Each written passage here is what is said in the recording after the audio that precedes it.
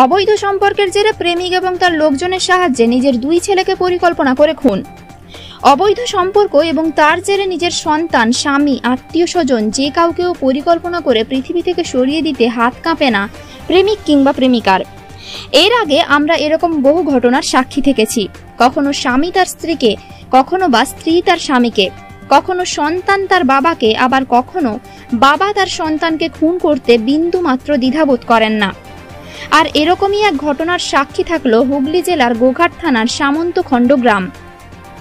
জানা যায়, গতকাল রাতে হুগলির সামন্তখণ্ড গ্রামে এরকমই এক ভয়ঙ্কর ঘটনা ঘটল, যা দেখে এলাকাবাসী বাকরুদ্ধ।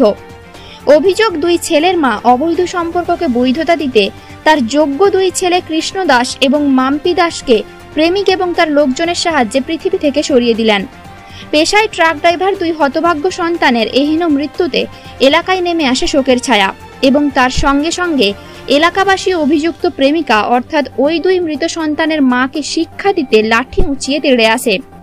খবর পেয়ে গোঘাট থানার পুলিশ মৃত দুই যুবকের দেহ উদ্ধার করে ময়নাতদন্তের জন্য আরামবাগ মহকুমা হাসপাতালে পাঠায় বলে সূত্রের খবর।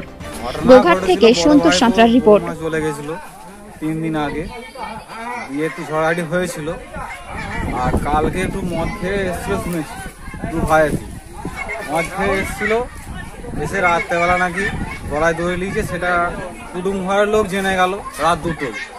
কিন্তু আমরা পাড়া পাড়া প্রতিপতি পাড়ার লোক জানছি ভোর সাড়ে চারটে। একটা যখন এই গাছ থেকে নামানো হচ্ছে, তখন ছেলের মা বলছে আর একটা দেখো নাকি সেটা মরে গেল না সেখানে যে দেখা হচ্ছে, সেটাও গলায় দইলে মরে মানে দু ভাই দুজনই গলায় দড়ি নিয়ে মারা গেছে? আর যারা মারা গেছে ওনাদের নাম? একজনের নাম কৃষ্ণ দাস মামপি দাস। আর ওনারা কি করতেন কি?